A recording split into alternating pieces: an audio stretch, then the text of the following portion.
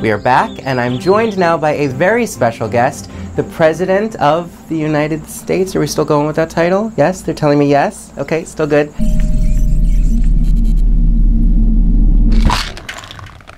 What you see when you kind of peek behind the curtain The president did not collude, and even if he did, it's not a crime.